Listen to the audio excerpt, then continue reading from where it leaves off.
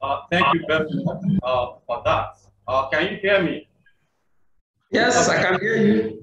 Participants, please respond. Thank you very much. Uh, yes, we can hear you. Can hear you, sir.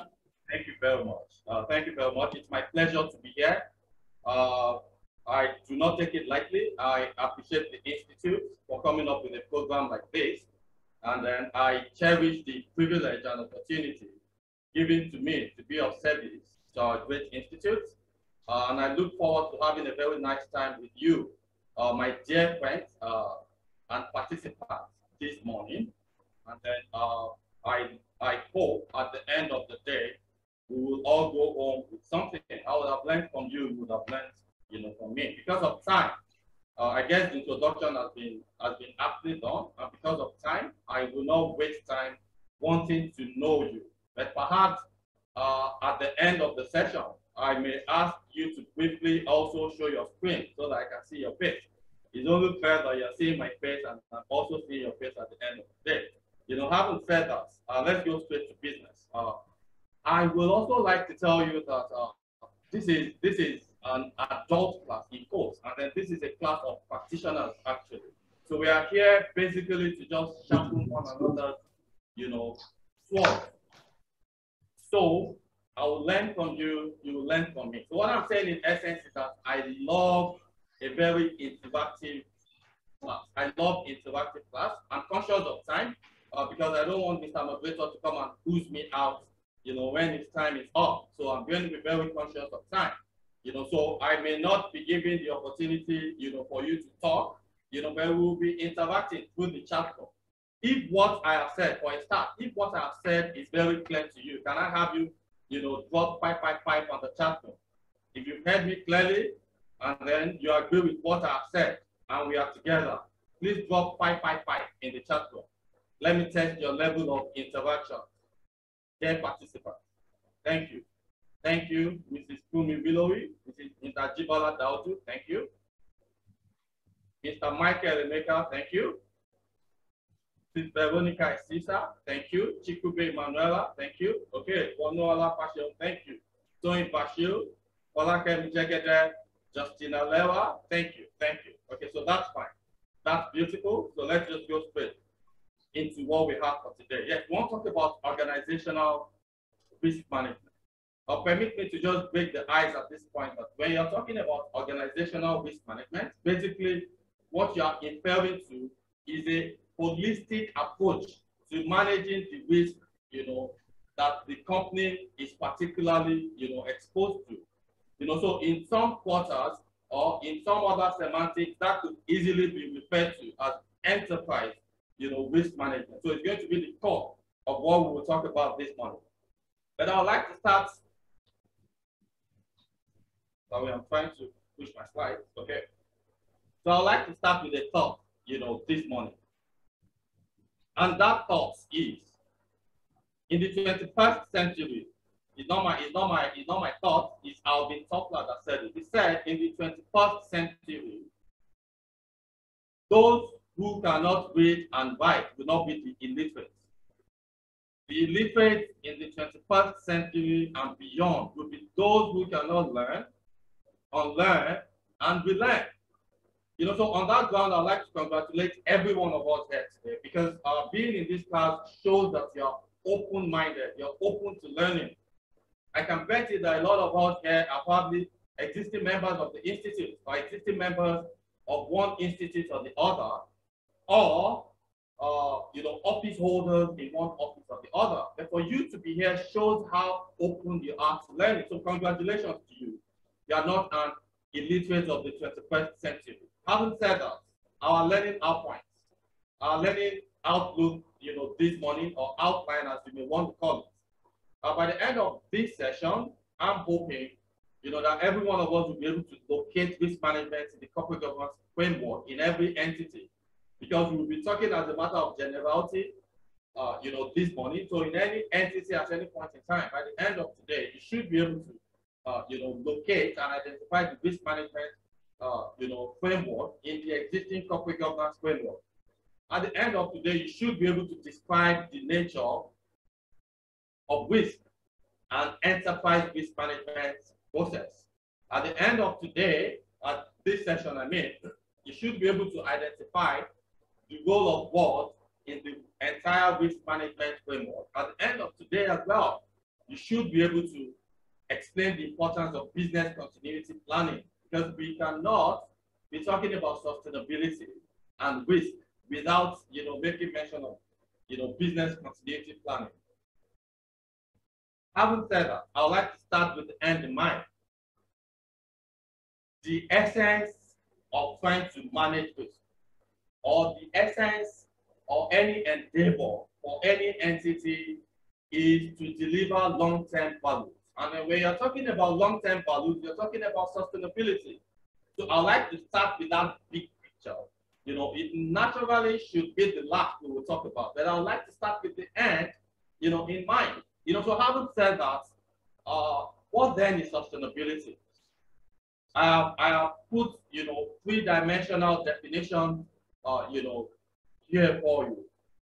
You know, the first, you know, definition basically defines sustainability as development that meets the needs, the present needs, without, you know, compromising the needs of future generations. So in other words, development, you know, that has evolved and is able to provide solutions to us today without depriving posterity ability to provide solutions to their own problem. So that's number one, uh, you know, definition of uh, my, my number one definition of sustainability, uh, you know, this morning. Another one, you know, that I have said is the fact that sustainability is an approach, you know, to business. An approach in which you, you try to create value. You try to create value, and that value in turn sustains that entity, sustains the company, sustains the enterprise, and then as well, you know, sustain a mechanism for churning out resources in the enterprise.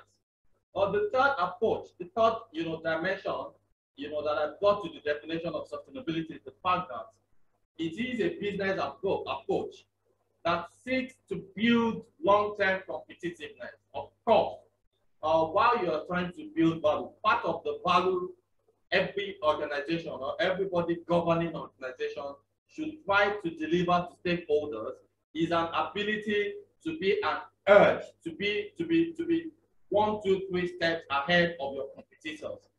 To be one, two, three steps ahead of your competitors. So your ability to be ahead of your competitor is an inherent component of the long-term value that you should be striving to deliver for the company.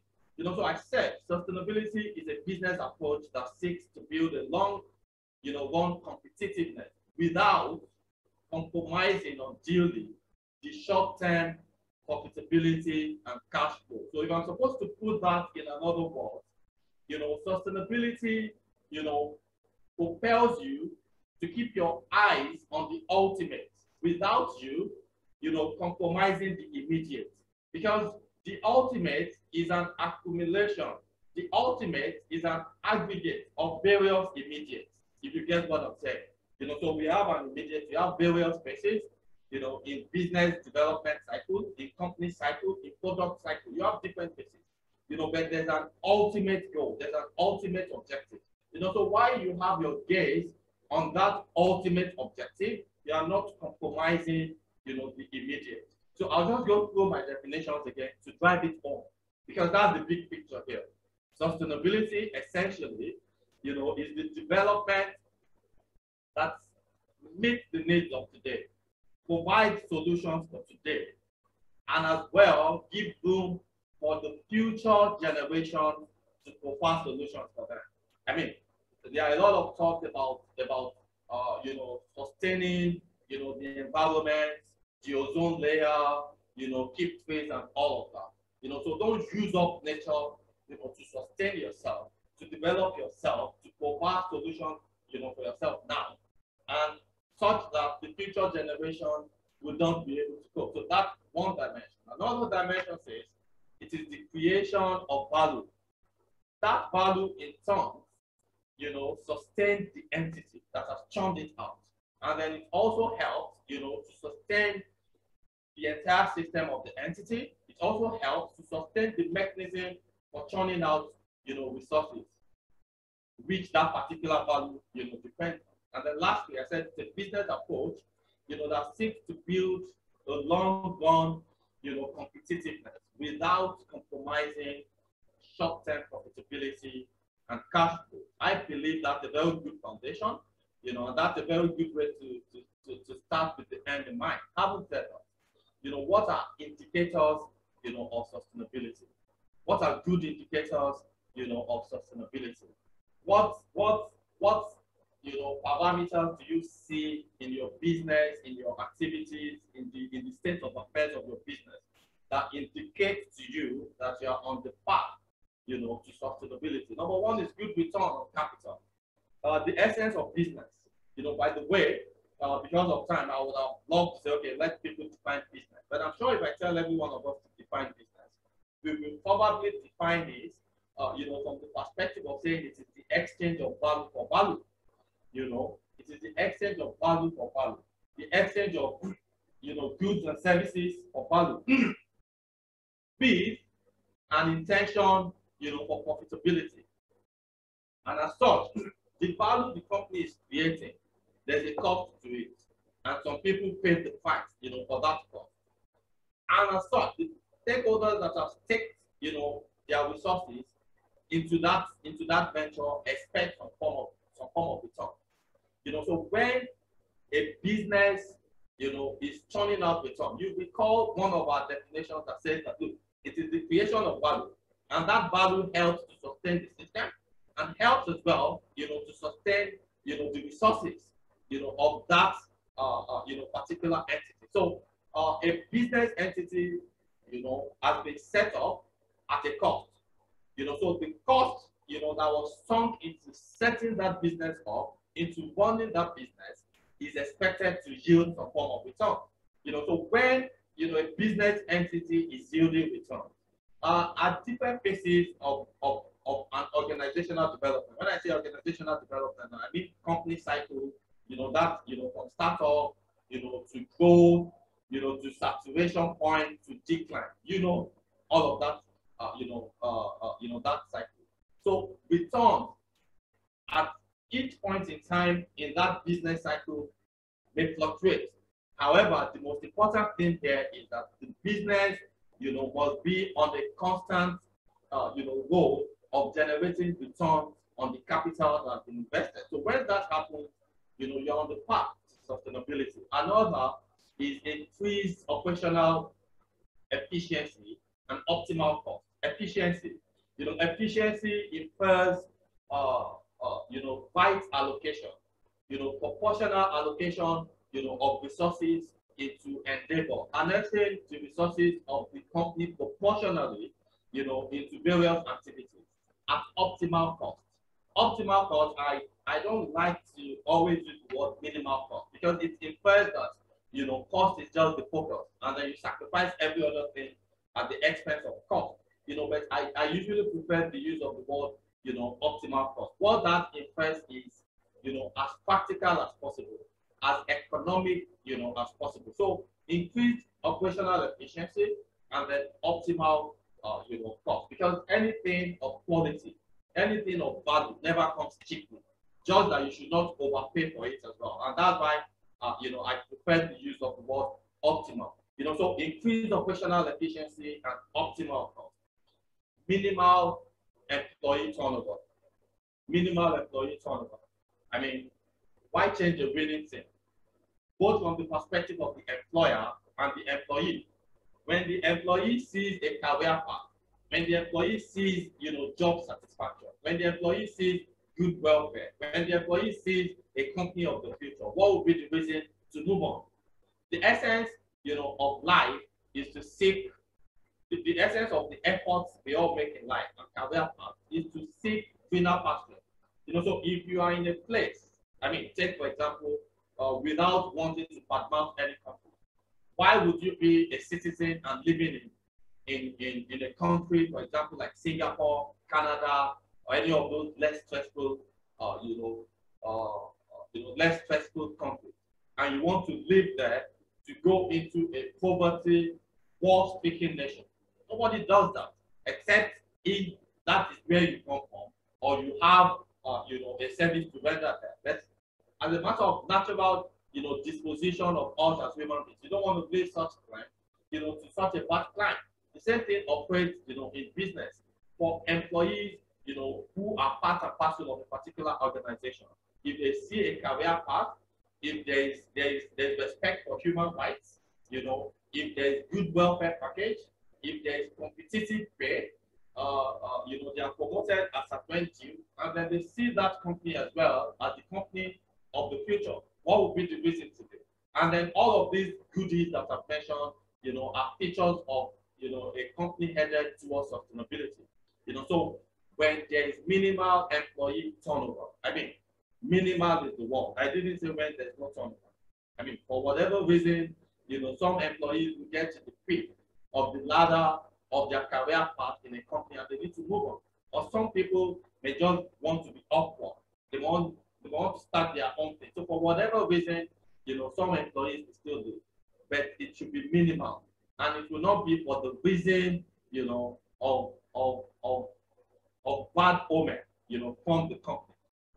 Another thing is enhanced, you know, brand advantage, enhanced competitive, you know, advantage. This was already incorporated, you know, in one of my definitions for sustainability that I gave. You know, so when the company is continually thriving, continually at an, at an advantage over its competitors, over fellow firms, you know, it's headed, you know, towards sustainability. And I give you an example. Uh, you know, they asked one of the founding partners then of Coca-Cola, you know, that if you guys were supposed to wait today, forgotten his name now, what would you take? He said, I will ask for the brand. I mean, Coca-Cola is a brand that has stood the test of time. HP is a brand that has stood the test, uh, you know, of time. Toyota is a brand that has stood the test of time, and so many other brands, you know, like that. These companies have been sustained from generation to generation, and they are waxing, you know, even much more stronger, even in the present day, you know, reality. Okay. Another thing is sufficient financial and investment opportunity. This has to do with, with business development, opportunity, you know, creation, business development, product, you know, development. In other words, we are supposed to put it innovation. A company that is constantly innovating will definitely be sustainable. And uh, innovation, creativity. Uh, I mean, improving on products, you know, doing things in a better way and all of that. They are features, you know, of companies headed for sustainability. And then lastly, of course, this is not exhaustive, but for the purpose of our time, you know, lastly, effective risk management, you know, and compliance. One of the one of one of the easiest way, you know, to move from glory to grass or from, from grace to grass, as they say, uh, you know, is when you are constantly speaking with a lot of a lot of fines and a lot of sanctions. You know, so companies, you know, that are headed towards sustainability will be compliant. Compliance, you know, with with specifications of brand promise, of, of product promise to customers. Compliance, you know, with laws and regulations compliance with governance codes, compliance, you know, with industry, industry set, you know, codes and, and business operation specifications, and so on and so forth. You know, so a business or a company that wants to be sustainable is not such, you know, that works on the on the on the misfortunate path, you know, of constant danger, constant sanctions, and constant fines, just because of carelessness of not complying then of course a company that will be, you know, sustainable will be a company that has an effective risk management framework. A risk, an effective risk management framework. To the extent that a company can only exist in its own operational efficiency, you cannot control the global reality. But an ability to constantly identify events that pose threat to you as an entity and to position yourself you know, to, to, to outlive, you know, such events is what is indicative of an effective risk management, you know, framework. Uh, so those are indicators. Uh, if you have any question or any comment, you could always stop me or drop it in the chat. Uh, but because of time consciousness, I will be, you know, moving. So let's let's just try to define risk as well, because we're talking about risk management. So we need to understand the nature, you know, basically, you know, of risk. And because we are talking about, you know, risk from an organizational holistic perspective, uh, you know, I will refer to, to, to, to it a lot from the perspective of events, events that pose danger, you know, or hazard or possibility of hazard to the company. Okay, so let's quickly look at what I have there. Uh, I said risk is the possibility, you know, that events will occur and affect the achievement of strategy and business objectives. When I was talking about sustainability, you know, earlier on, uh, when I was, when I gave the illustration about the big picture and then the immediate picture. Of course, when you're talking about the big picture, sustainability itself, in its in its in its nature, is one of the objectives of an entity. Profitability is one of the objectives, you know, of an entity.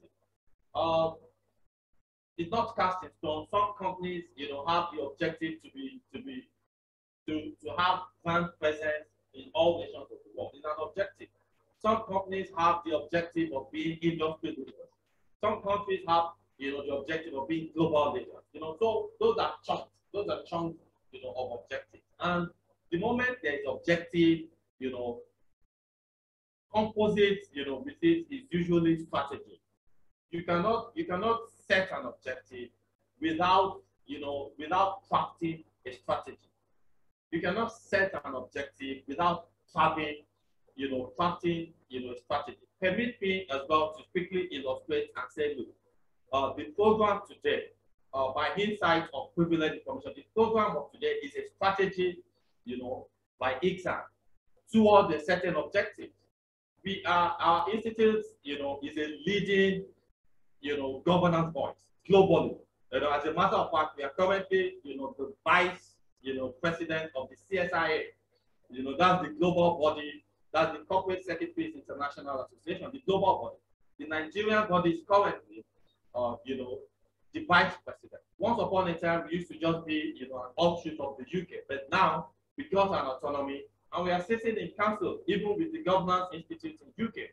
You understand? So uh, to constantly, to constantly, you know, stamp our authority as the governance institute, the institute needs to churn out, you know, uh, you know, practitioners who are capable in every area of governance. And one key area of governance, you know, is governance audit, is board, board, board evaluation, risk management, uh, you know, setting up risk management frameworks, etc., and all of that. You know, so that was why I said that this program is a strategy, you know, by ICSAN to constantly churn out, you know, practitioners who will fill this space. And the more they fill this space in the economy, the more ICSAN continues to occupy that its, its space, you know, as a leader in governance, you know, practice in Nigeria and beyond. So what I'm saying is that this is the possibility that an event will occur. An event will occur and it will affect, you know, the achievement of that strategy or the effective application of that strategy and the achievement of your business objective.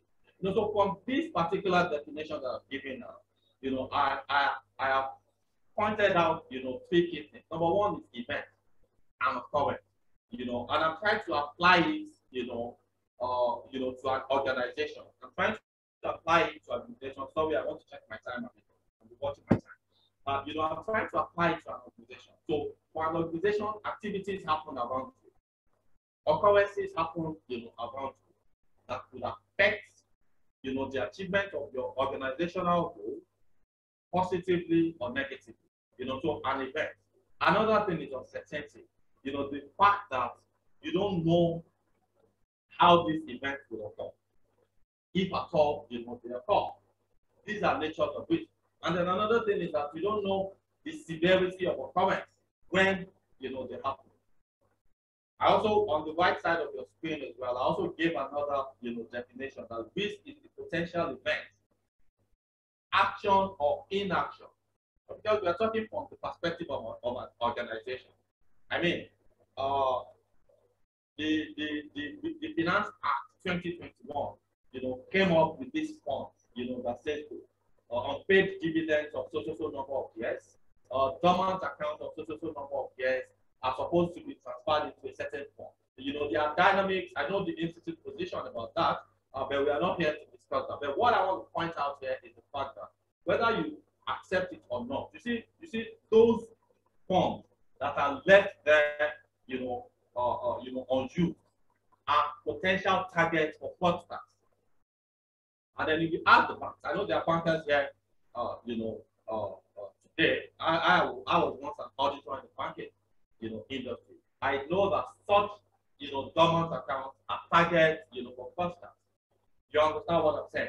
You know, such accounts or such unclaimed dividends, people impersonate just to come and claim it, you know, and all of that. Now, the question as to the sincerity, the honesty of the government as to dispensing it, they say it is a loan, they will always, I'm not going to go into that time. But I want to, you know, use it to illustrate the inaction that I said there. So that means, you know, a threat can arise either from your action or inaction. Uh, risk management is, is a full model. You know, but we have two hours. So I'm I, I, I won't delve into, into the nitty gritty of all that can be said. But I just want to, you know, stress it, you know, that some action or some inaction will threaten your organization's ability to achieve, you know, their objectives. And then, of course, these actions, you know, like I said, uh, could go up or could go down. In other words, they could affect positively, their outcomes could affect positively, you know, or negatively. Uh, when it is a downside impact, when it has a negative impact, it will hinder the achievement of corporate objectives. If the turnout of events, you know, has a positive impact on your activity, it will enhance the achievement of your objectives. You know, so uh, after today, we are not going to be seeing, and as governance practitioners, we are not going to be seeing this from the perspective of thinking, you know, that this is certain hazard. This is just possibility. It's just it's just probability of the turnout of events. Events, you know, that can affect your organizational framing. Let's move on. Thank you. So risk appetite. Of course, you cannot, we are, we are, we are, we are gravitating towards, uh, you know, risk management. And you cannot be talking about risk management without you defining certain things, especially from, from the perspective of an organization. Also, you see, uh, an organization that wants to be effective at defining or at managing its risk, we need to we need to you know define some parameters. We need to set some objectives. We need to set out how it wants to operate. You know, uh, I mean, why am I conscious of time this morning? Because the organizers of this program have said to me, okay, prepare your slides, you have so, so, so time. Why? Because there are other, you know, presenters, there are other facilitators who are on queue to come and, you know, add value to this, uh, you know, particular activity. So if that was not defined, I could just come here and then talk forever. You will even get tired, go home, come back, but it's been defined. So for for for effective, you know, achievement of purpose in any endeavor of life, you need to define, you know, your parameters. You need to you need to define, you know, how you want to play, what tools you want to use, you know.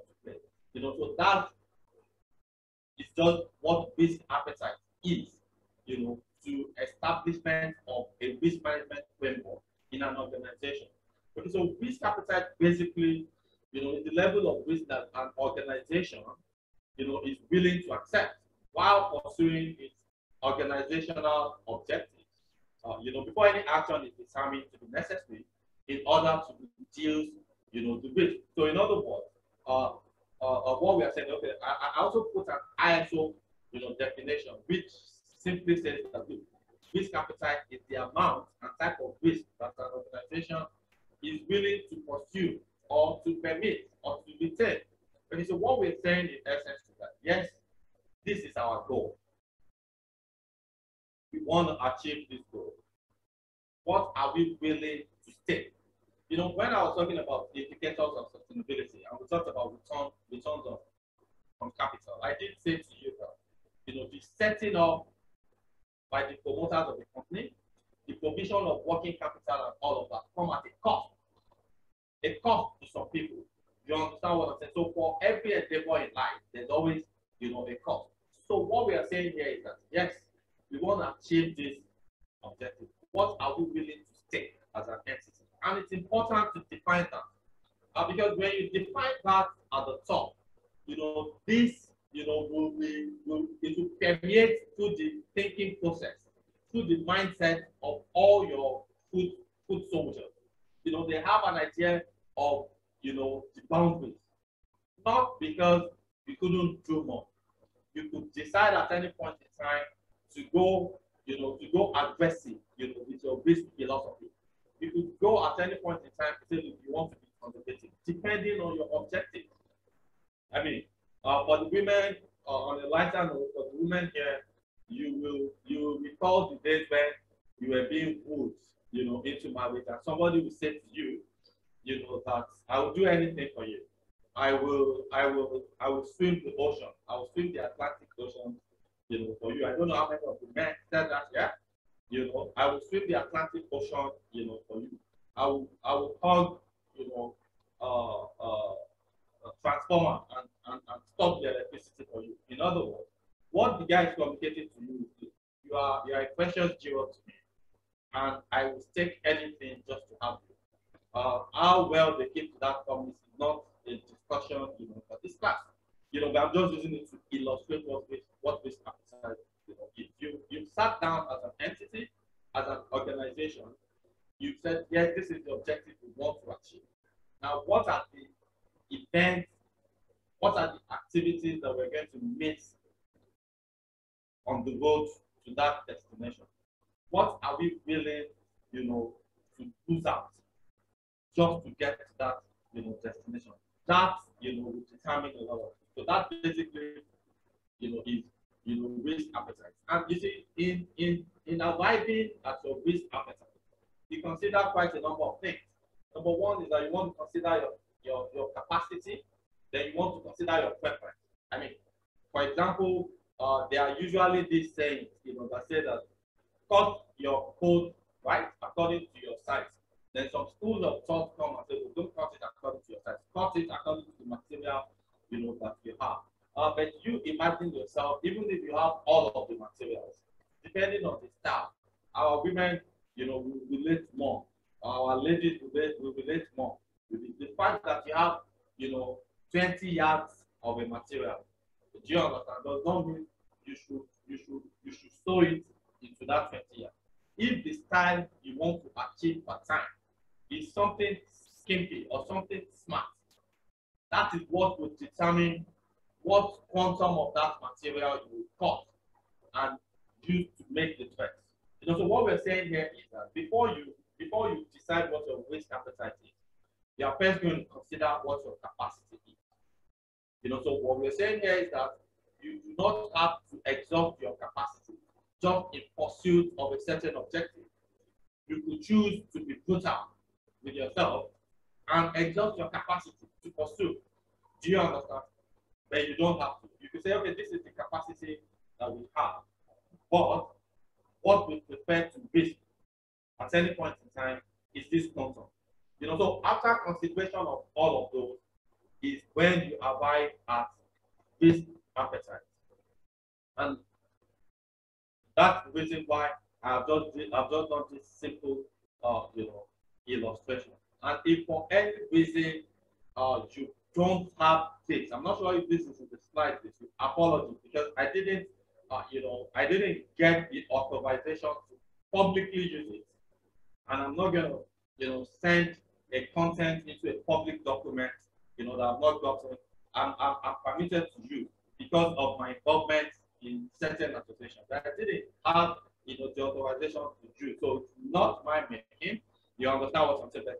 For illustrative and teaching purpose, it's not out of place. But it may not be, you know, in your slides as well. So please bear with me if some of you are just wondering. That's just a simple reason. Okay, so like I was saying, risk capacity, the risk you can afford risk tolerance is the risk you know you prefer. Now, of course, risk threshold is when uh, you know your your risk tolerance is expressed in quantity. You know, for bankers, we cannot lend more than so so so percent, you know, of so so so. Those are those those are definitions of thresholds. That's risk tolerance in absolute, you know, expressed in absolute terms. And of course, you have risk appetite. You consider all of this before you arrive at a risk, you know, appetite. And then you have risk statement. You know, your risk statement is just, you know, your philosophy. Some people call it risk philosophy. If you pick, you know, the credit policy of any bank or any lending entity, the first thing you will see is that they will have their risk philosophy. You understand? It's a statement about their risk appetite, about, about whether they are aggressive or they are conservative. Some people are risk averse, some organizations, while some, some, some you know, uh, some organizations are very open you know, to risk. Let's quickly look at categories of risk. You know, let's quickly look at categories of risk. You know, so I put before you, you know, some three categories of risk. Business risk, internal risk, uh, because we're talking about governance, we're trying to identify, you know, risk within corporate governance framework. So we must talk about the, the, the risk as well that are associated with governance. And so let's quickly look at business risk. Business risk, you know, are like external risks. They are risks, you know, that occur at the externalities of the company. And as such, the company is not directly in control of them. Unlike internal risk, you know, where there are there are issues within the company and then the company can fully control them. So let's quickly look at that. Very quickly. Reputational risk. You know, reputational risk, sorry, uh, time conscious. Reputational risk, you know, essentially refers, you know, to the risk or to the possibility, you know, that some potential customers or existing customers will refuse to patronize the company or continue to patronize the company because of the perceived image of the company. Reputational risk is the risk, you know, that you may lose out on some patronage on the grounds of how you are perceived, on the grounds of the image of you that is in the marketplace. And this is a very key risk for risk managers here, for board members here, you know, for corporate uh, corporate corporate uh, you know uh, uh, company secretaries, you know, here who are involved, you know, in in business decisions and all of that. You realize that every serious-minded organization will never take reputational risk, you know, for granted. As a matter of fact, that's why companies have, you know, corporate affairs, uh, you know, units, and then you put very senior officers there to manage their affairs of company internally and externally. And then a lot of companies do a lot of PR. When I say PR, I'm not talking, you know, in, in, in the use of it on vibrant No, public public relations, uh, uh, you know, expenses. I'll give you an example. You know, some years ago, uh, because of the war in the marketplace, in certain industries, some people came and said, Procter and Gamble you know, that they come into the country, you know, uh, the owners are, uh, they attend Church of the Devil and all of that. Knowing very well that in this our, our country, we are quite religious. You don't want to quantify the impact that had on the patronage of Procter and Gamble, you know, product. Let me just confess to you, you know, that in the early part, I love big lemon cloth. I love Pringles. You know, and those are those are Procter and Gamble, you know, products. For some time, I was like, oh God, no more thinking, no more, uh, uh, uh, you know, uh, uh, what they call big lemon pop. And they had many products. You know, their sanitary pads were very, were very good and effective, and so many other products. It was later on that we got to know that it was just a war of the marketplace, a war among the banks. And what did you know Procter and Gamble do? They came, went to MFM, between public Say, no, you can see on the top, we are not, you know, in the church of the devil and all of that. And then before it got down, and they're, they're, doing well in the, in the market and in the Nigerian market. So that's what reputational risk can do. At a point in time, they said, Indomie. If you eat Indomie, you die. I, I didn't confirm, maybe somebody actually ate and died, or something, something, you know, unfortunate happened around eating it. But some people use it as an advantage. And between you and I, because I don't know who is who in my audience, we got to know who the gladiators, you know, of that story was to prevent them, you know, from continuing to be the market leader. That's the impact image of you in the marketplace and have, you know, on your patronage and by consequence on your bottom line. Okay, then secondly is, is competition risk. You also cannot take this for granted. This, you know, refers to the possibility of your company being affected by the activities of your competitors. And without wanting to waste time, I just use the old conservative, you know, conventional example of uh, the, the service providers, the, the, the, uh, the network and the communication company. You know, when Airtel and, and MTN first came, they came and sold per minute to us, such that even if you pick a call by one second, they will, they will take off the money, you know, for one minute from you. When Glo wanted to penetrate that market, they looked at it and said, how do we introduce ourselves? They looked at the old operations and said, okay, we'll take advantage. So they introduced per second. Now, our competition risk comes in.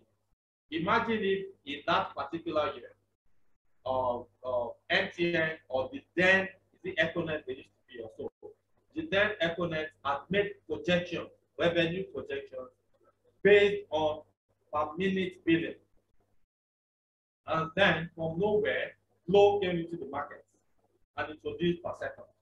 And they were threatening not even to just deplete their bottom line, they were threatening to, to, to steal some of their customers because many people wanted to port. Oh, per second. at that point in time, some people that were already known with their MTN line, they also having Glo.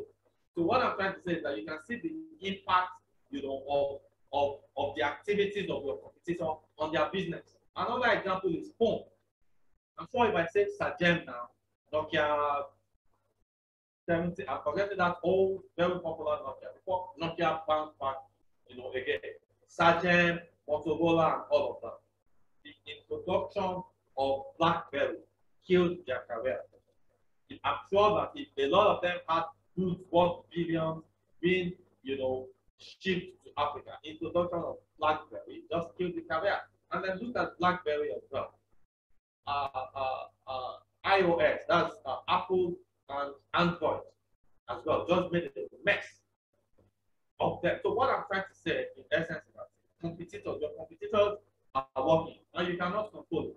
You know, so there's a risk of their activities impacting, you know, on your own activity and then impacting on your own ability to achieve your objective. So you got to constantly be on the loop. Then of course, environmental activities, uh, or, you know, environmental factors that impact on the business.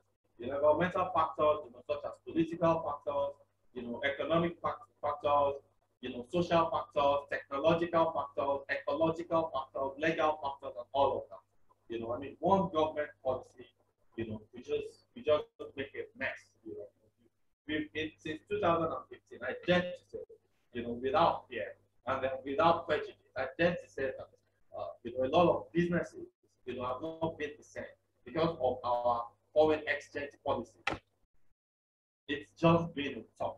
I I, have that said, look, look, man, you know, let's leave the Nigerian market and then just move to other because we're producing, you know, from Malaysia, you know, and then importing it to Nigeria and then the exchange got crazy.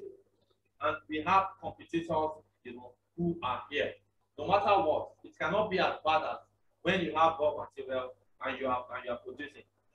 It cannot be as bad as it, it is somebody who is producing, you know, in foreign currency and bringing it here. Price would be too much as, as far as it would, it would you out of competition. So, so those are environmental factors. Then you have, you know, financial you know, factors. These are these are uh, uh, you know uh, uh, you know macroeconomic indices, you know, such as such as inflation, such as interest rates, you know, such as exchange rates and all of that, you know, that could impact, you know, the ability, you know, of the company to constantly meet its financial objectives. So you ought to, you know, also be on the lookout for that. Then you have liquidity risk. You know, liquidity risk is the risk, you know, of the company not having sol- not being solvent enough to meet obligations as at 20. You know, so this, you know, comes, you know, from from uh, uh, uh what call from uh, you know factors as you know money circulation and, and, and all of that. So the company needs to. You know, business based are also called strategic based because you cannot fully control them. You can only position yourself. I mean, we all do thumbs up to Goldman Sachs today because in the economic crunch there in America, Goldman Sachs, you know, its analysts put, you know, they were among the least hit on the Wall Street. You know, why? Because, you know, some of their analysts could see the future and they were positioned. Uh, Merrill Lynch is a bank in America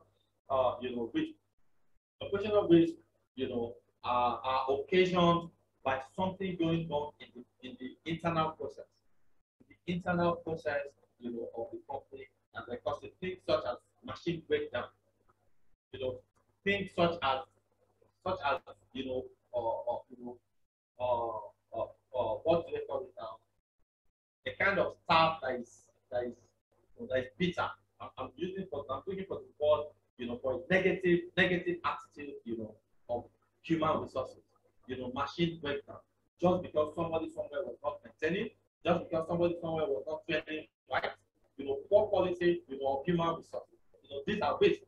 Because uh, why this is a risk is that sometimes, I'm sure you've heard this saying that look, culture is strategy for great fun. So if at the top, you have thought out, you know, your strategy, you've thought out how to achieve your objectives, and that thing is not cascaded down mentally, you know, to this good soldier. They are the ones that will even with you.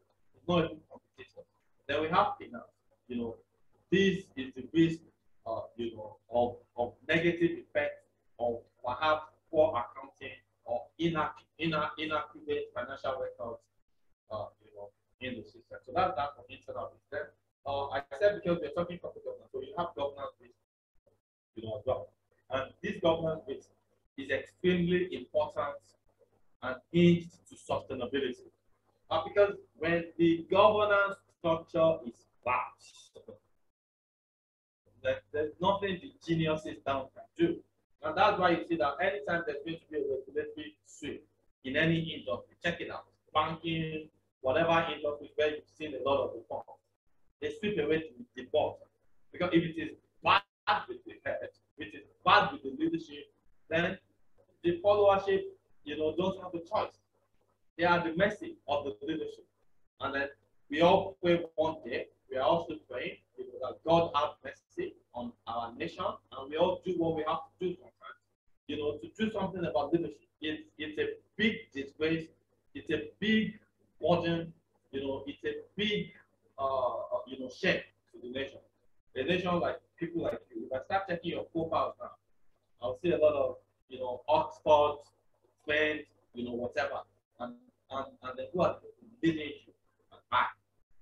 And what orientation are so you can see why there is that decadence in our nation. If the leadership gets right, my God's grace, with the potentials of the human resources, even if all we have, you know, nobody's looking at our human resources. They think oil is all we have.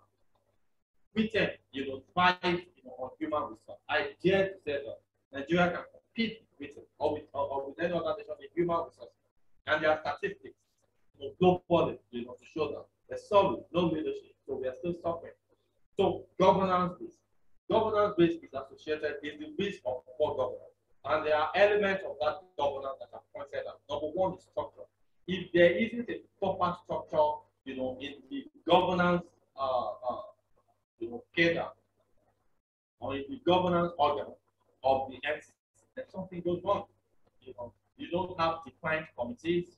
You don't. You, you have the same the same person as chairman being the MD. You know, if there's no structural, you know, uh, dominant personalities will evolve, and there will be no order at all. Uh, then, then governance process. What are the processes? I'm not talking operational process. What are the processes, you know, that, that support and enhance smooth running of decision making, smooth running, you know, of of operational operational, you know, function of the board. You know, so there's got to be, you know, proper process. When uh, do you send information? Imagine uh, if you have to make a decision today and you are seeing all of the board work for the first time today, you're not going to make quality decisions. So what process do you use to drive that such that uh, uh, uh, seven, seven days, two weeks before the board meeting, you know, and then in these current days, you know, as well, do you do you still use paper such that your driver is driving all around 8, 9 p.m., 12 p.m. to look for one paper? Or you don't electronic. You understand? You got electronic where each director can access, you know, remotely board papers, digest it, and be well equipped, you know, for the decision, you know, that will be that will be made at the round table during the board meeting. Okay, so that's that. Then information as well. Information, this is very key. And this is where I hope there are a lot of company secretaries there. This is where you need to play a role. The integrity of your information, the quality of your information will determine the quality of, of decision. No matter how brilliant the board members are, it's a garbage in, garbage out there. You know, so there's a risk if there isn't a mechanism, if there isn't a mechanism in place in the company to ensure that the system churns out credible information, quality information, that there's going to be a problem in decision making. And that will be a governance uh, uh, you know, problem. If things have happened and the MD and the ED, they have a way of hiding it just because they don't want immediate review of the board. And then the board is not kept in the know of reality. And the board is busy using all their acumen, all their experience to make decisions, you know, on the one, you know, whatever. Then something goes wrong. Then of course, people and culture, you know, as well. People and culture, uh, you know, as well. This is where the issue of, you know, boardroom behavior comes in. What is the quality of the director you're bringing on? What is the appropriateness of the business of the directors you're bringing on? If you have the wrong people, for example, you and I, you know, let's let's let's let's let's let's, this. I have by our training, by our acculturization, you can't be in a place you, you are not delivering, and then you are just chopping on. and then your conscience is clear. Okay, I'm local government chairman or some some position holders. I travel to Dubai and so on. When allocations come, I come back, share it. Your training do not permit you. Either religious training or your professional training. Even if there is a high level of carefulness in you, by, by, by your training, you cannot totally be like that. But we have, you know, such in governance entities, especially public sector entities, where uh, appointment into the governance organ is by political consideration. You now see people who don't have anything of sense steering the ship and, and, and turning out policies, you know, for Harvard graduates, for Oxford graduates. It can be right. Something we get wrong, you know. So that's that, you know, the, the categories you know, of this. Just to be sure that you are with me. Can we quickly do an, an exercise? The exercise for you in one second. Let, let me bring it back. In one second, can you tell me, you know, how many horses? Can you see the screen? Can you tell me how many horses, uh, you know, have three legs in what is before you? The first person to get it. I'll clap for the person. Okay. Cookie says three. Any other person? Victoria says one. Other people are sleeping, right? That's why you're not participating. Can we have more people? So I know that you are still awake, you're not sleeping. Okay, Jibara says three. Ah, Charles says 12. okay, Bukola James says five. Okay, so Bukola James has got it. There are five. You know, there are five horses with three legs. So Bukola James, I clap for you. And I give you presidential handshake. So receive it, you know, in good light. You know, so there are five, there are five horses. I just did that, you know, to, to confirm that they're still with me. So let's move on.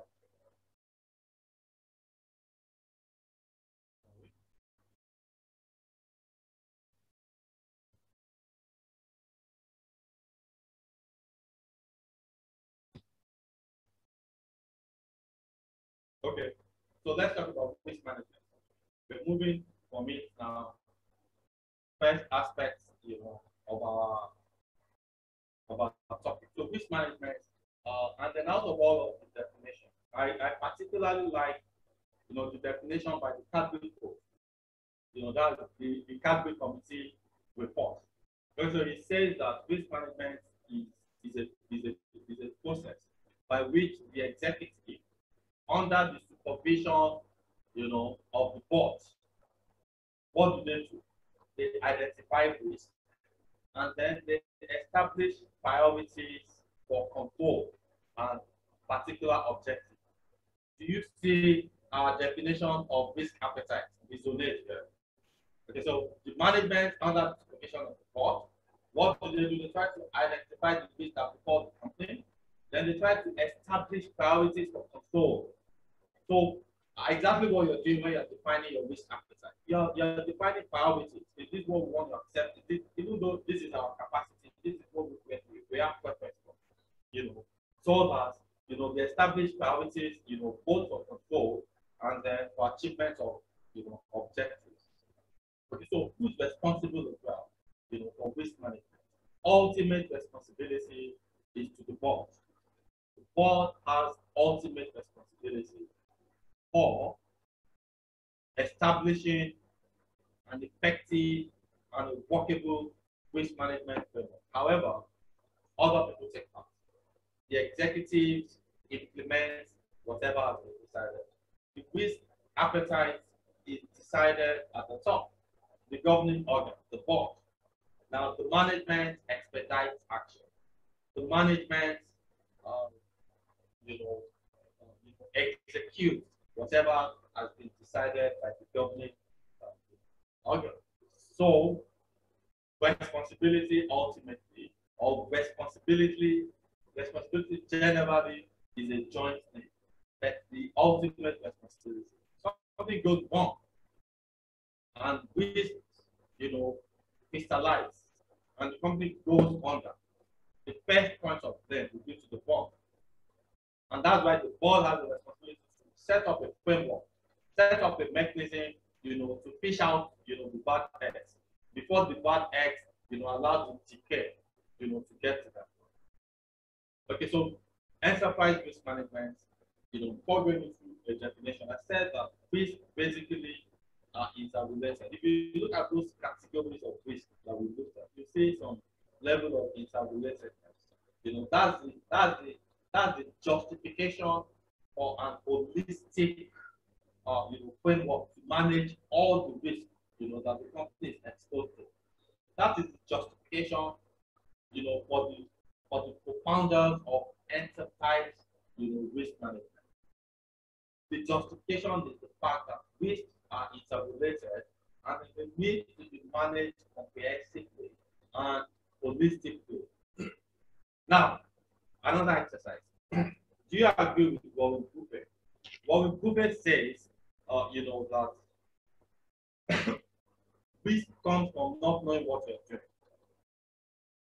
Can I get, can I get, you know, do you agree with him? Can I get some responses in, in, in, the, in the chat? A few people. Do you agree with Warren Buffett that this comes from you not knowing what, what you're doing? Okay? Color James Cole. That's our prize for the other exercise. Thank you, Color. Okay, so any other person? Okay, okay, okay, okay, okay. Thank you, thank you. So I guess, I guess, you know, that you get the perspective, you know, that Warren Buffett was coming from. What Warren Buffett is saying is that, you know, the crystallizing and the negative effect of risk comes, you know, from not knowing what you're doing. If you look at what we have been saying, you know, since morning, if you set up a, a, a mechanism, a framework, you know, to identify, to define, you know, what your objectives are and all of that, then you will not totally be at loss, even when this, you know, crystallizes. Okay, so one of the sources. Okay, okay, okay, say one of the sources, uh, you know, of this. Thank you very much, you know, for those that are participating and making the class not to be a one-sided thing. So enterprise risk management because of our time, you know, so it's a process. Another place I want to dissect it, you know, so enterprise risk management basically, you know, is a process. It is affected by the board. I mean, we already established responsibility. It is affected. check my time. It is effected, you know, you know, by the board of directors in conjunction with management and other personnel of the company. Uh, and then it is applied in strategy setting and across board, across the enterprise. And basically, it is designed, you know, to identify potential events that may affect the entity. And then it aims at managing risk within the risk appetite. And then to provide reasonable assurance, you know, that the company is able and capable to achieve its objectives. So you can see, you know, that uh, enterprise risk management encapsulates all that we've been saying so far. You know, so essentially, it is a process established, you know, by the board, of course, with inputs carrying along management and other personnel. What makes, you know, enterprise risk management model? It's just it's just one of the models. Do you understand of risk management? You know, it's just it's just a, a, one of the models, and then there have been uh, you know, a lot of authorities, global authorities that have made their contribution to this concept, to this model, you know, of risk management. COSO is one of them, ISO, you know, is one of them, and so on, you know, and so forth, that have made their contribution and have contributed their thoughts, you know, in, in enhancing, in the involvement of this model, this particular model, called, you know, ERM. Because of ERM, you know, from COSO's, you know, definition, the integrated framework in 2004 says it is a process. You know, Cadbury also defined it, uh, you know, as a process. So risk management basically is a process. You know, so it's a process of effecting, uh, uh, uh, what do they call it? Uh, effected, you know, by the management and the board and all of that. And it is applied in, strategy, you know, setting. What I like about ERM is that in other words, every other activities that the company embarks upon is tested through the litmus, you know, test, you know, of, of risk framework, even to the extent of strategy setting. And that's why, you know, the process is affected in strategy, uh, you know, setting. And this picture next just, just, just, you know, summarizes what I'm saying. You understand what I'm saying? So you have, you know, your risk, uh, you know, management, and every other thing you're doing, your intentions, your objective, your strategy setting, you subject them, you know, to that litmus test, you know, of the risk management framework to determine whatever your direction is, you know, that time. Okay, so uh, the, the, the definition, some of the things that I stressed, uh, you know, I just listed them, you know, out here, you know, for easy to understand. I said that it's a process, which means that it is ongoing. The process, you know, is an ongoing thing. I said it is effective, you know, so that means there are responsibilities, you know, for risk for ERM. Then I said that it is applied in strategy setting. So uh, there's consciousness as well about achievements, about performance, you know, in here. Then I said it across the organization, the board, the management, other personnel. Unlike some other models where you just set it and people don't connect. ERM, you know, is ERM because it comes across every cadre of the organization. And it's designed to identify events as, as inherent in the definition of COSO. By the way, COSO is Committee of Sponsoring Organization. Committee of Sponsoring Organization. It's an American-based, uh, you know, organization dedicated, you know, uh, to advocacy, you know, for proper risk management. So, Committee of Sponsoring Organization. So, uh, it is it provides reasonable assurance. ERM provides reasonable assurance, you know, to stakeholders, and then of course it's geared towards the achievement of the corporate, you know, objectives. Uh, they're talking about responsibility to players. The board has a, has a role to play. We know that they are the ultimate direct, direction setters. The CEO has a role to play. Uh, you know, the ERM or risk committee, as the case may be. Then you have the chief risk uh, you know, uh, officer, and then you have risk owners, who are the operators, who are the people that help to identify what could go wrong on the day-to-day -day running of the company's activities. Okay, so I'm also watching my time. Uh, so what are the objectives, uh, you know, of ERM? Objectives, you know, of ERM. Number one, you know, is risk oversight. ERM aims at ensuring that no risk inherent in the company's activities goes unnoticed or unattended. You understand what I'm saying? Uh, a decision will be made, uh, and that's where uh, uh you know uh, the risk appetite thing, the, the concept of risk, risk appetite and, and, and all of that, the justification for it comes comes into place. But as far as ERM is concerned, there's no there's nothing, no event that will affect the company that goes unnoticed, you know, or talked about. That's what the framework, that's what you know the the, the mechanism you know aims at doing. Then of course ownership and responsibility, like I said, there are people who are responsible to play different roles. Then it provides assurance. It's aimed at providing assurance, you know, for uh, uh, uh, for, for various stakeholders. And look, the company has the capacity to achieve its objective. And of course, uh, because it cuts across boards, it involves all cadres, you know, of, of stakeholders, internal stakeholders within the company. It creates awareness. At the low level, the low level staff cannot claim they don't know what it is. You know, so it creates, you know, some form of, uh, you know, awareness. And then it enhances effectiveness. Why? Because ERM, we'll look at the process shortly. ERM, you know, by its framework, you know, has an element for constant monitoring and review. You know, so what that does is that it promotes and enhances, uh, you know, effectiveness. Okay, so I just have some dimensions actually. Uh, we say uh, good practices or best practices as far as ERM, you know, is concerned. Okay, so one of such, you know, concepts is risk transparency and insights. Uh, of course, to ensure risk transparency and insights, you need to ensure, you know, that there's adequate risk impact estimation. I will not dwell on that. We'll talk about the process shortly. When we're talking about risk uh, assessment, we'll make mention of this. Then you, you, it, it helps, you know, you should ensure that there's coherent, you know, regulation or calibration, you know, across businesses. That's why I told you that no risk goes untouched. No risk, you know, goes unnoticed.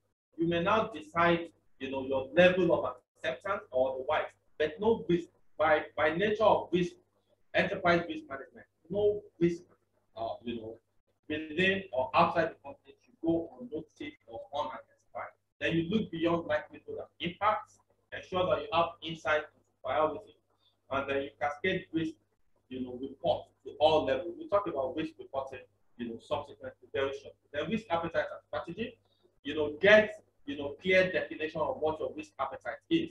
This is just like you know emphasizing some of the things that I've said, uh, uh, you know, under this head. Then you formulate strategies, you know, informed by risk. And that was why I said that the unique thing about ERM is the fact that every of your activity is risk considered. You want to move, you want to sneeze, is risk, you know, considered. So if, if, if you if you adopt, you know, an ERM, every activity you understand of yours is subjected to the litmus test. You want to invest, you want to spend, so you are risk conscious. It creates, you know, risk consciousness, uh, you know, not fear, risk consciousness, you know, across So you formulate strategy informed, you know, by risk insights. Okay, then uh, for risk-related business processes, you ensure that managerial decisions, you know, embed, uh, you know, in risk in the risk process. Then you ensure that you establish strong links, you know, between ERM functions and business uh, know. Uh, for risk organization and governance, adopt organizational models tailored towards your particular business requirements, and then ensure adequate resource, uh, uh, you know, at all levels, you know, to manage. Then risk culture, ensure that you align your culture, your risk culture, you know, with strategy, as we already said, you know, earlier. So what are some of the benefits of ERM? I'll just walk through. You have this in your notes, uh, you know, in the slide. It increases possibilities of achieving objectives. I mean, that's a given. It reduces, you know, variability, you know. Then there's proactive identification and management of risk, enterprise-wide, entity-wide, like I was saying before. It improves the governance process.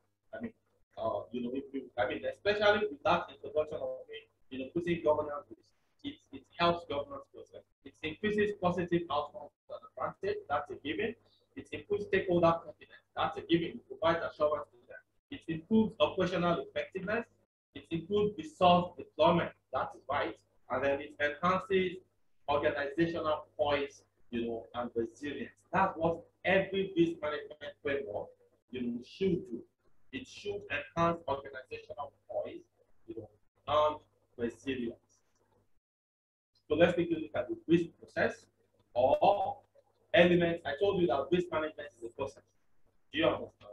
And then the the the the chronological sequence, you know, is what defines as well the content, you know, of risk management. So for enterprise risk management, once again, as outlined by COSO, uh, you know, this is in your notes, you know, as well. Uh, so you have your internal environment. You should have,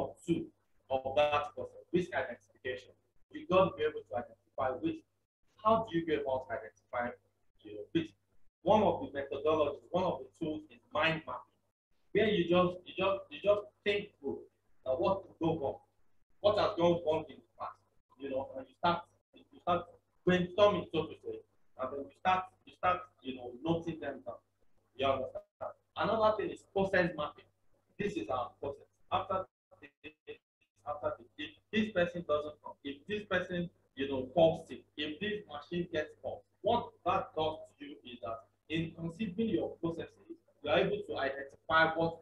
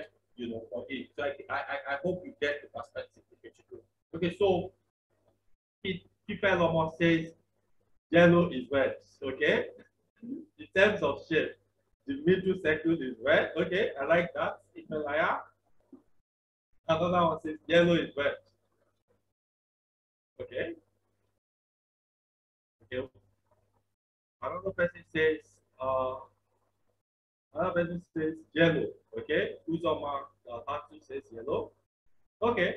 Uh, that was just supposed to be a teaser. Do you understand what I'm saying? Uh, you know, that was a, that was supposed to just be a, a, a, teaser, you know, to prompt you, you know, to think out of the box such that when you want to when you want to identify risk, I mean, I just talked about mind mapping, process mapping, and all of that. Think outside the box. It is only when you think outside the box, you know, that you will be guaranteed of identifying and ensuring that no risk in whatever quantum, in whatever level goes unnoticed. So thank you to all of those people, you know, who participate, you know, who participated, uh, you know, thank you very much uh, for that. Okay, so risk assessment risk assessment basically is one of the process of risk management. You know, so it is it is it entails you um, after identifying you know, the risk for each of the risks, we are now we are now trying to ascertain what is the impact it will have on your business. Number one, what is the possibility of it crystallizing? If it crystallizes, what will be the impact, you know, on your business. And that's why, you know, some of the tools that you use, you know, for business, you know, assessment that are put on your screen. You have hazard spotting. You want to spot the danger, you know, in it. Then you want to, you want to, for each of the dangers, what will be the effect on your business? You understand what I'm saying? Will it crumble you within seconds? You know, will it will it give you time, you know, to recover? You need to be able to spot, you know, such possibilities. I mean, uh, the, the, the entities, for example, that take reputational risk very seriously, they know the hazard characterization in image, in, in, in poor image. It could, it could, it could push, I mean, there have been events, you understand, there have been events, you know, that make the rating of the company to go from here, here. I remember when the issue about Tiger, Tiger Woods, and his infidelity story came about, you realize that uh, uh, Accenture, a global consulting company, he was one of their ambassadors. Immediately they dissociated with him because that kind of activity, you know, portends great danger and hazard for their brand. So they to quickly make a statement. I'm sure there will be some understanding behind doors that look, you know, Tiger Woods, you know, this, this, this, we wish you the best. But for continued sustainability, because the impact, you know, of reduced image or perception, nobody can quantify it. You know, so it depends. There are some companies, you know, that uh, even if, you know, they perceive them, you know, badly, their product, people say, well, we hate what they have done, we blah, blah, blah, but this product is the only option we have, and they still buy. So it is left for you to understand your business requirements, your business situation, you know, assess appropriately. And then, of course, there's exposure you know, assessment. And then I put there, uh, you know, uh, a quadrant, which is a working tool at any point in time that you are trying to assess this. You know, you have, uh, you know, uh, you know, the impact, and then you have the likelihood. What is the likelihood, and what will be the impact? You know, so whatever your your competition is here, that's what will determine, you know, your you know, the measures that you put, uh, you know, in place. Okay, so evaluating uh, you know, risk, how often should you, you know, evaluate your risk, your risk management process, your risk management process regularly, you know, quarterly you know, basis, but at least there should be an annual report, you know, to stakeholders. So there should be an annual risk assessment, of your risk, you know, management process to check its, its um, uh, you know, check its, its effectiveness. And there are even some disclosure requirements, even in annual reports For example, the internal control, you know, statement, the, the audit committee, uh, you know, statement, even the auditor's opinion. These, you know, are, are, are pointers. Do you understand? To risk assessment, basically, uh, you know, and their disclosure requirements in your annual report on account. Okay, so maybe this should be our last activity for today. Don't worry, after this, I won't do any other activity with you. So can you spot the difference? I also want to, you know, check your ability to assess. Can you spot the difference here? In these three things in front of you. Any response? Cookie James, don't let me down. Any response from the house? What is the difference among the things? Okay, there's a circle on A. Thank you, Miriam. A is different to me below it. Thank you. Okay, so that's fine. Okay, that's fine. Please, okay, the center in A is different. Okay. Okay, A is different to color James. Thank you. Okay, good one, good one. At least it shows you're with me. It shows you're with me. Thank you very much. You know, for the for being interactive. Okay, so reporting to stakeholders. One of the key elements, you know, of, of ERM is reporting to, to stakeholders. And what is the justification, you know, to report to stakeholders? And then when you're talking about stakeholders, there's a wide spectrum of stakeholders who are attached as far as the company is concerned. You have yes, the shareholders, you have, of course, the directors, you have the management, you have the staff, you have suppliers, you have government, you have creditors, you have community, you have customers.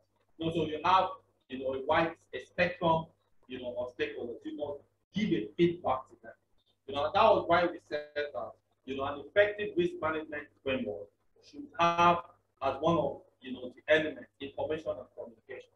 You understand? When you are when you're writing you, you know, your business or continuity plan, as a matter of fact, you will be expected to assign responsibility. One of the responsibilities in the event of crystallization, who communicates, who manages, you know, information. So also you have a responsibility as a government organ or as internal players to report, you know, with respect to this to your spectrum, you know, of stakeholders. Okay, so what are some of the justification? Because there's growing requirement by regulators. You know, regulators who are monitoring your sustainability require it and then demand from stakeholders, you know, for specific risks. I mean, ESG, uh, uh, you know, is an area that I don't want to start delving, uh, you know, into. If you want to effectively manage your stakeholders, you report back. Then you have response to, gov to, to, to governance crisis, corporate governance crisis, you know, to identify what went, what went on, and then you report to stakeholders.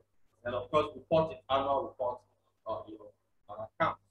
Uh, so what are some of the risks, some key risks, you know, that I think we should know, pay attention to in, in our modern world, in our everyday world? One is cyber security, you know, cyber risk. You and I know that. Um, I mean, the other day I, I saw a broadcast, you know, a broadcast, you know, that says, uh, uh, it says um, that some people got calls from some people that say this is your BVN. If you don't give some other information, you know, we will close your account. Uh, somebody reported that from Ecobank and from, from another bank. And so when they went to the bank, they said, we didn't send anybody to call you.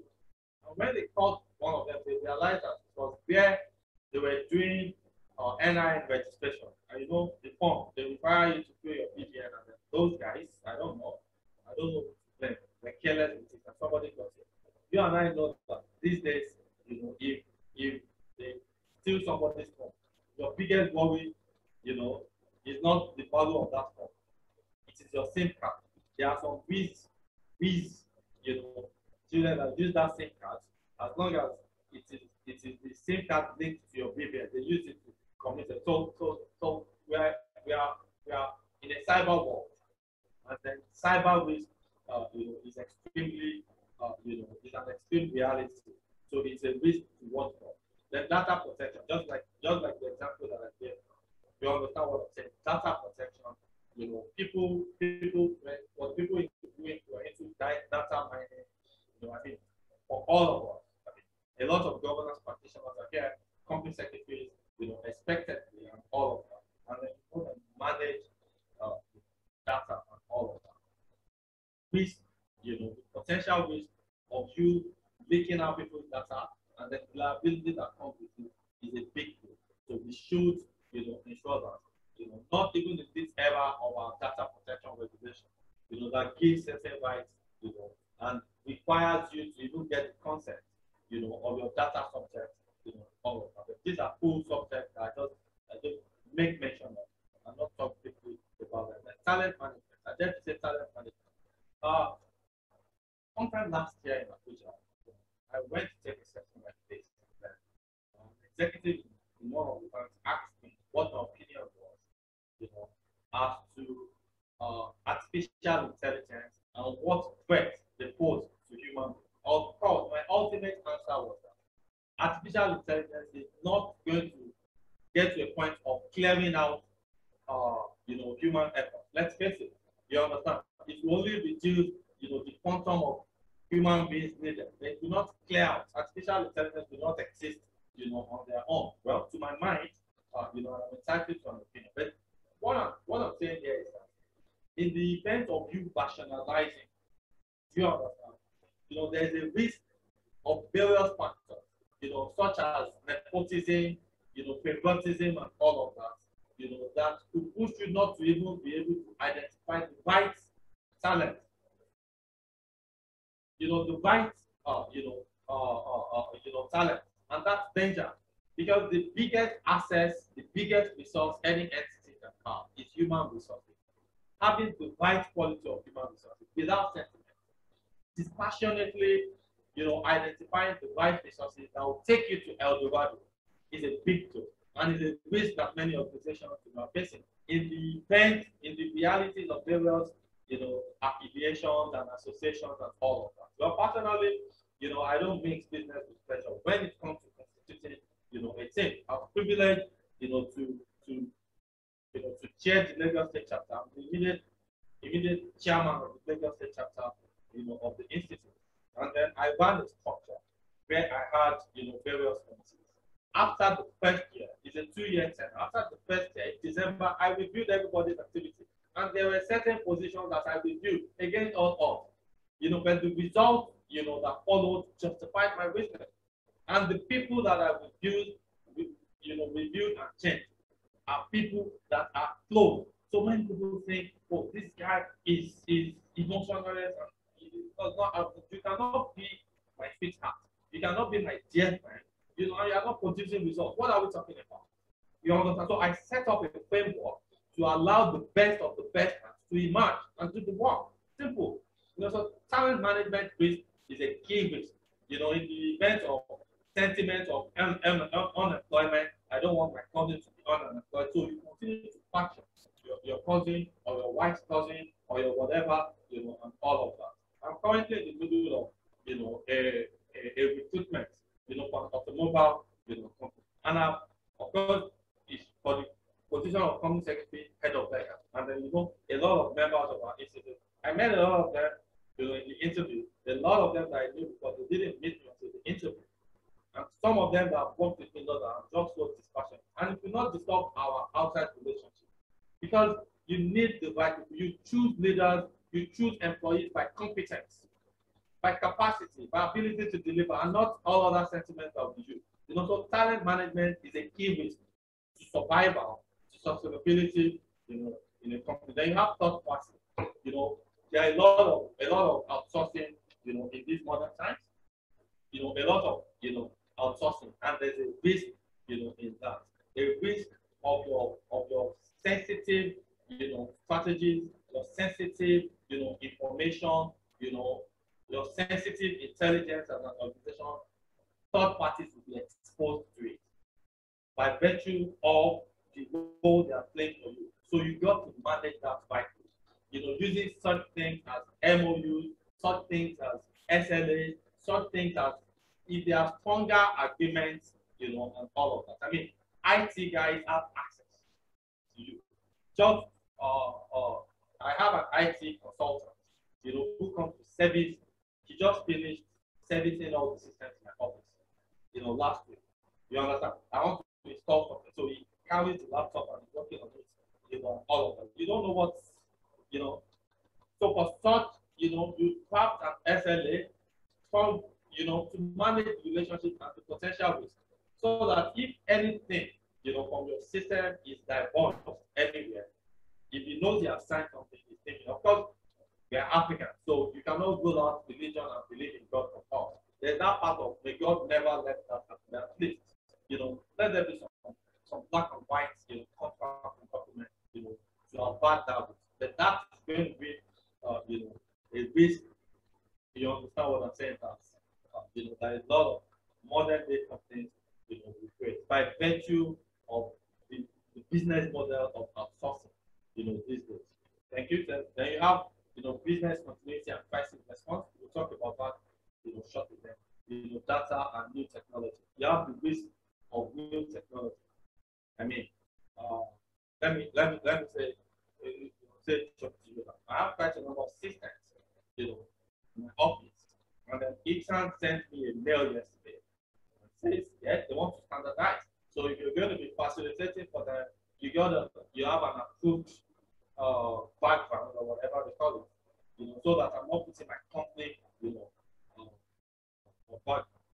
And out of the the three systems that laptops are personal. It's only one, you know, that has, you know, the configuration to fit into that. And that's the one. This is not my favorite laptop that I'm using. You know, but it's the one with the capacity and specifications, you know, to be able to meet up with the specification of it.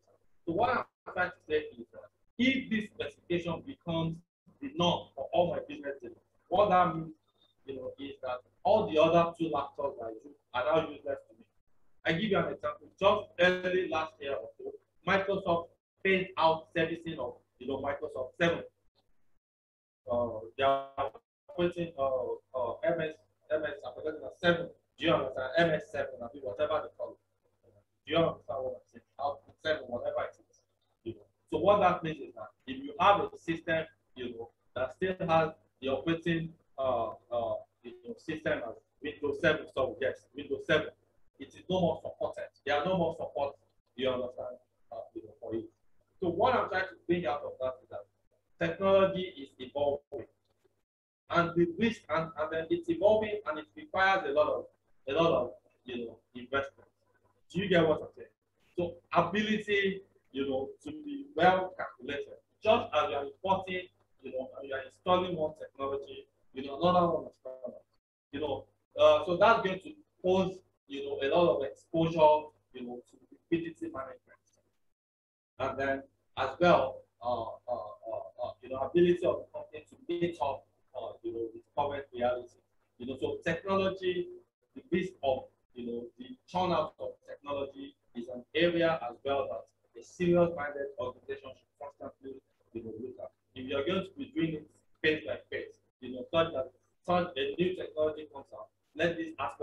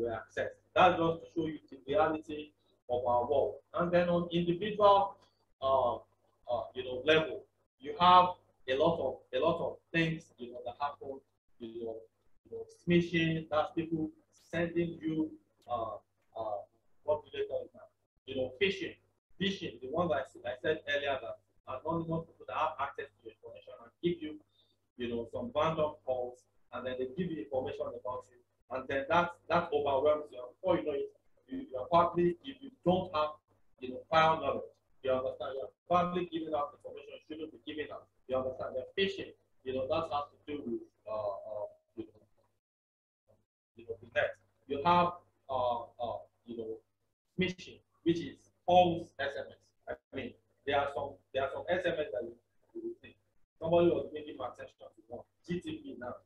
There's a way GTB buys that GTB. Then you receive some, some SMS that they will try as much as possible, as possible to to clone, you know, how even GTB or any of those banks, you know, appear. It will take, you know, good insight, you know, for you to know that this is not GTB, you know, GTB. The essence of saying all of this is to bring our attention to the fact that a lot of cyber crime, you know, around us, and we need to pay attention you know, to it. And then, um, of course, um, who as well, WHO, I saw this on their website, you know, where they were also trying to, uh, you know, allude to the fact that there's a lot of cyber crime, you know, and then they warn people, you know, against hackers, you know, and all of that. And then, what I wanted to bring up on, what I want to bring up for you from this slide was where I said the World Health Organization will never ask for your username or passport to access safety information.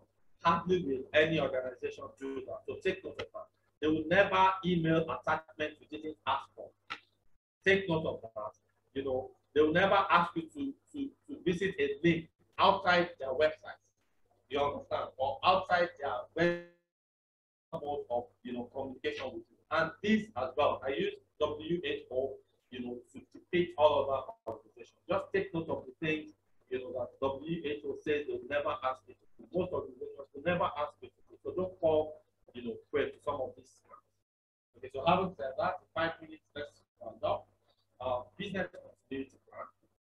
You know, so basically, in a layman's language, you know, a business continuity plan is a plan, a contingency plan, you know, that you put in place in the event of disaster in your business to, to help your business to recover and continue you know, to exist.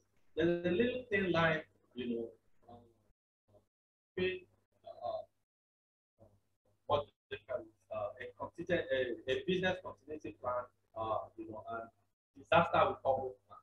Yes, they are close, you know, but a business continuity plan is like an advanced level of disaster recovery plan. For disaster recovery plan, it helps you to quickly recover back to normal. A business continuity plan focuses beyond just helping you to quickly bounce back to normal, you know, but it also enhances continued smooth flow, you know, of your operation after recovery, you know, from the disaster, from the unforeseen, unforetold, uh, you know, disaster. Okay, so I also, you know, put this in a different way you know, to say the process of creating a system of prevention and recovery from potential threats and loss. It ensures that assets and personnel are protected and are able to function quickly in the event of a disaster. So when you are creating a business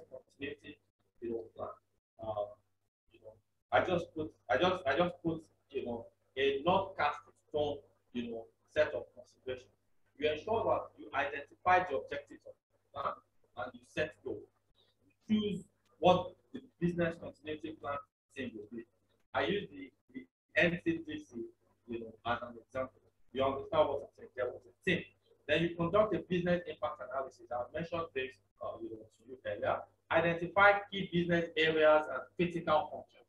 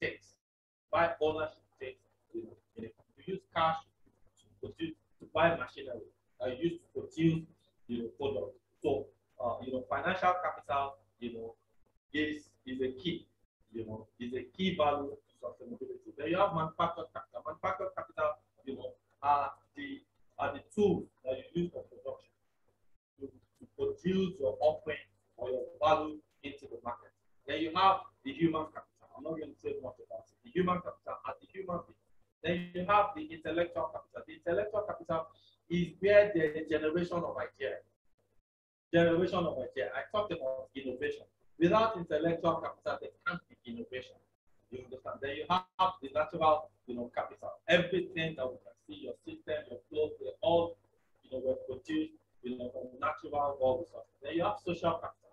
Social capital has to do with relationships, relationships, relationships, relationships. What uh, you know protocol or, or procedure will achieve in five months. Relationship will achieve it in five minutes. And mind you, we as human beings are social beings.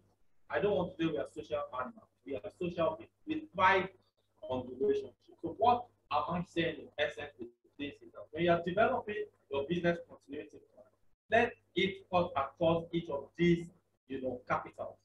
These capitals that turn out value, that enhance sustainability, you know, for your business. Lastly, what are the benefits of, you know, uh, business continuity plan? It helps you to establish trust, it builds reputation, it decreases, you know, expenses, it decreases opportunities, it increases operational efficiency, it ensures preparedness, you know, for business. You know, so at this point, I would like to say thank you very much, you know, for your, uh, you know, time and for your attention. Uh, let me quickly, in a GP, if permitted by Mr. Moderator, to just, uh, just uh, quickly show you a business continuity plan, uh, you know, a sample of one that I prepared, you know, in the past, and then to just run of. Uh, I hope I've removed the name of company. I just hope so. Uh, you know, so it's showing on your screen so that you see all of those. So you can see, okay, so this is the table of content, you know, the, the you know, well, depending on the business anyway, you know, you can see that there's objective. You know, I have objective from then I have, you know, objective, then I have I have risk management plan. I have list of potential risks that can disrupt business. That was what I meant by critical activities. You know, you can see that I have you know, a risk assessment, you know, uh, you know, uh, uh, you know, uh, part of that document. You know, there's a business impact analysis, you know, section, and then of course, uh, incident response plan and all of that, and plan activation. Uh, you can see that there's incident response team. Those were the things that I talked to you about. You can see that there's communication. You know, then you can see contact list. Yes, you have the team that will communicate. You have the contact list of the stakeholders, you know, that you need to carry, you know, along. Then you can see the recovery plan. Then you can see that you can see immediate response continuously. Then you can see, you know, recovery, uh, you know, action. Then you can see resources required to carry on, you know, the critical businesses. These are considerations, you know, in your business continuity plan. Then test, evaluate, update, you know, and schedule. It's sometimes depending on the company, uh, you know, it's not something that is the same thing for everybody. You can see how I've outlined their activities, you know, all of that, you know, just for the purpose, you know, uh, you know, that. I'm sorry I didn't send this to you, but that they need to send to you, I will need to remove, you know, time, name, and all of that. Uh, you know, so on that note, uh, ladies and gentlemen, uh, I would like to say once again, uh, thank you, ICSAN, for the opportunity to do this, and thank you for your cooperation. You are very participative, you are very interactive. I will yield the floor now for any comments or any questions or any clarifications. Thank you very much.